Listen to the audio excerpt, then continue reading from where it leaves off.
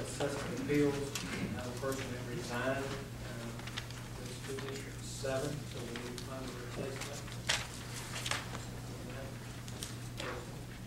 We also have Lakewood Appeals, special tax, Roger, I think that's- No, that's. Uh, Mr. Chairman, we haven't heard anything from this group, and, uh, Ms. Betty, if you would remind me next week, uh, I'm gonna personally go over and meet with them, see where they're at. Parker County Planning Commission, we have Michael Henthorn resigned, we have a Bio and Mark McCall. Mr. Like to waive rules this time and uh, nominate uh, Toby McCall for the planning commission, District Six. Have a motion and a second, any other discussion? All in favor, raise your right hand. All opposed, passes, thank you. ULMO Board of Appeals, Mr. Chairman, I'd like to waive rules this time and nominate uh, Heath Strong Second. for the Illinois board. have a motion and a second on Heath Strong, any other discussion? All in favor, raise your right hand. All opposed, passes, thank you. Thank you, Mr. Chairman. Q. Um, Wanted to take one committee out of order, uh, land use committee, we understand our planning commission kind of needs to lead, and we're always doing land use last and it's shortchanged, so at this time, I'm the chairman of land use, Roger Nutt, only omits members. I'd like to go ahead and start land use committee, item A, receive information taken direct uh, into the manufactured home section. Whit, you would, please come forward. Uh, Mr. Chairman, y'all, um, have charged us with trying to work on the mobile home ordinance, uh, section of the development standards ordinance related to mobile homes. And planning commission's had three different meetings on that, staff's been working diligently, and we've made some progress, but we have a lot of uh, unanswered items on that related to, um, legal issues and definitions, and we're still doing a lot of research on that, and would be, uh, my recommendation, because we have not developed a consensus on the planning commission, we postpone action on this item at least for another month, if possible. Since um, a lot of this originated in your jurisdiction, do you think that's okay still? I'm good with it. I don't want to pass anything that we're not comfortable. And I think that w- there is a public hearing scheduled for today in the regular meeting. uh, um, There is some text out there available, to have public hearing on, but it's probably not very reflective of what may end up being. and it, um, That's uh, certainly y'all's discretion whether y'all have a public hearing on what's out there now, but I would uh, probably recommend that you postpone that also and re-advertise. Edwin, can we do that? Should we do that?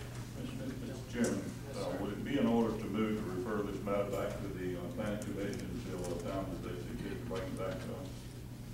No, I, I think if we do not take any action, This is just, to, you know, close the loophole going forward, it needs to be closed. I think we'll take the time to get it right. Mr. Chairman, I would make a motion, we table the matter until future meeting and also postpone the a public hearing in accordance with that. motion, So, second, will you- All on that right. motion? all in favor, raise your right hand. All right, We'll, we'll do that. Thank you very much for continuing to work on. it. All right, Whit, thank you. Any other items? John, you needed to say anything? All right, now we'll go back, start economic improvement and development. Honorable David Rich, Chairman, Michael Brown, Jane Hall, members, Mr. Britt. Thank you, Mr. Chairman. We got two projects and three items before us. Got Mr. Carter Smith in the audience. Um, Carter, you want to get up and say anything about? Yes, sir. Two Thank you very much there. We do have uh, three items and uh, two, two projects for the committee. The first one is a, a project that we've been working with for a little bit there now, and uh, we're referring to it Project Hunt until they get a couple more items at the state level and here cleared up as well. Okay. Do I hear a motion to approve on, well, by resolution authorizing the execution and delivery of an agreement by between Spartanburg County and Project Hunt? So, motion been made. Second. Second, all in favor, say aye. Aye. Motion carries. Second item deals with Project Hunt as well. Do I hear a motion to approve on first reading to an ordinance? Motion. Motion been made, second, all in favor say aye. Motion carries. And the last item is an existing company. You want to tell us a little bit about it? Yes, sir. Uh, Josh Meyer located out on Highway two ninety. We have, uh, Mr. Vince Pearson with us, who is the uh, secretary of the company as well as, uh, in-house counsel. He's been very active in this project with us. Uh, a- as I think most of you have seen out there, they've been in a very good expansion mode for us. And, uh, council had approved back, I think, in two thousand nine, a uh, fee, and we're asking for amendment of that fee to uh, capture this additional investment and growth. We appreciate you being here, and we're really excited about what you're doing in Spartanburg, and for, you know, one of our best employers too, BMW, and other automotive companies as well. And it's exciting to see you know, a company growing and succeeding even in, you know, the thoughts that you guys had years ago. So, we'll hear a motion for approval, first reading. Motion. Motion made, second, all in favor, say aye. Aye, motion carries. Thank you for coming. Thank you, Mr. Thanks Smith. very much. I'd also, uh, uh, let you know that you do have a project that you started through public hearing sometime back, uh, Project Here, which is another existing company, SEW-Eurodrive, and so we appreciate all y'all's, uh, support on that project as well. I also want to just report to the council, Carter and I went down last Tuesday night to the Amazon celebration in Lexington County, and they had a tremendous turnout, great celebration, and they were very thankful to Spartanburg County for what we did and stepping up and helping, you know, turn that vote around in the upstate, not just Spartanburg County, but Greenville. And, um, they wanted me to extend their thanks to full council, this administration. Good. Uh, well, can I group be excused from Sure. the, uh, five thirty meeting? Does any council, do any of the council members have a problem? Thank you very much. Sir. Thank you. Mr. Chairman, that concludes our committee meeting. Thank you, Mr. Britt. Next, we have Public Health and Human Services, Honorable Jane Hall, Chairman, Roger Nutt, co-mem- members. Ms. Hall? Yes, Mr. Chairman, today we're going to receive an update on Mary Black Hospital. This is going to be presented by Doug Moyer and Wally Barr. Mr. Moyer is CEO and Wally Barr is the board chairman. So if they are present.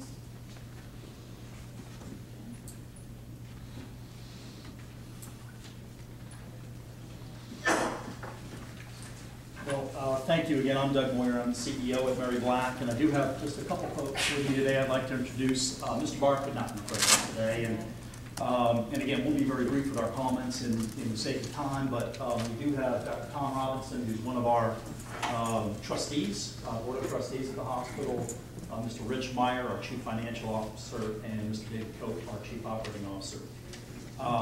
About a year ago, we had the opportunity to come in front of you all and, and very much appreciate the opportunity to just give an update about uh, things going on at Mary Black. And I think it's important to us for, for a couple of reasons. One, um, we're proud of the accomplishments that we've had the opportunity to bring to the, to the community.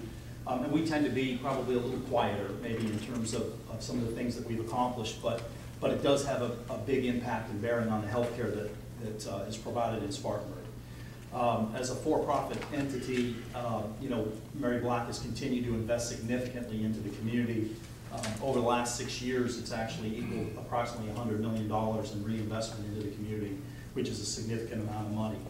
Uh, At the same time, we're focused um, significantly on physician recruitment, trying to bring new physicians and new services to the area. Uh, In January of this year, Mary Black became a primary stroke center, uh, which was very important for, um, for the community, specific to the number of strokes that are in this particular area of the country, and being able to provide a quick and timely response. Um, In addition to that, um, Mary Black is recognized as number one in the upstate in terms of stroke outcomes, number two in the state of South Carolina, only behind MUSC. So we're very proud of that accomplishment. At the same time, um, HCAHPS is actually a way of benchmarking hospitals specific to um, patient experience, if you will. When a Medicare patient comes to the hospital, when they leave, they receive a survey, and that survey is a way to assess um, basically the communication that occurred between nurses and the patient, physicians and the patient, et cetera. And from that, Mary Black has been ranked in the uh, 93rd percentile of the country, which is within, um, actually nationally, uh, it's top 10% across the whole country, 3,007, uh, 3,700 plus hospitals nationally. So um, very proud of that as well. At the same time, we're the fifth largest employer in Spartanburg County. Payroll benefits, sixty-five million. Uh, Property tax and sales tax, more than seven point three million. Uncompensated care or charity care, uh, twenty-six million. And sponsorship, sponsorship and donations of sixty-nine thousand dollars. So things that, uh, again, we're proud that, that we can bring those things to the community. And I wanted just to ask uh, Dr. Robinson to speak very briefly maybe about a couple of the, the things that we've been able to invest in the community.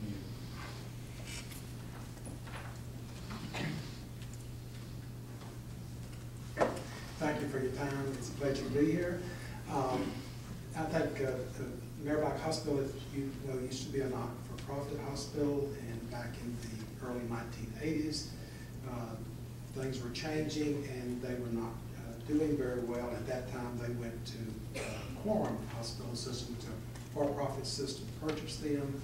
A number of years later, uh, Triad took over Quorum, and then it became a Triad Hospital, and now Community Health Systems has taken over uh, Triad. So it's been a, uh, a um, for-profit hospital system since that time. What I've seen is the physician has been uh, a great deal of money and investment in, into the hospital to uh, to improve it. If it had not gone to a not, to, to a not-for-profit, I mean, to a for-profit status, it would, it would not be here today. I can say that very comfortably. I've been on board the hospital on and off for a number of years and practiced at both hospitals. I think the thing that I, that I want to, to uh, emphasize is that, that whether you're a not-for-profit or for-profit, really, it, what happens in the hospital is, is similar, in that both places focus on quality patient care, and that's the primary focus of, of healthcare uh, facilities, whether, whatever status they are on the tax books. Um, The hospital, the, the money that's been invested in Mary Black is, particularly since Community Health Systems taken over, has been pretty stunning. We have a brand new ICU that's state of the art, brand new ER that's state of the art. A, uh, been a very sophisticated breast center open, and so, so I'm proud to be part of both hospitals, but I also, but I want everybody to uh, at least have a good appreciation that, that both hospitals contribute in their own way to the community in a special way, make the community's healthcare overall better. Um. Dr. Robinson, I had the pleasure of sitting on the uh, development board for Access Health in Spartanburg County. And Mary Black was a big participant in that as well. I know you at least allowed us to meet there at those facilities. So I think what you say is very true. Just because you're a for-profit does not mean that you don't get out and respond to the community needs and, and meet those needs as well with your physicians and with your hospital. So we do appreciate it. We feel like, I feel like, uh, Mary Black is, is a very important player when it comes to health care in Spartanburg County, and we thank you both for that. Well, thank you for your comments. Can I say a quick word?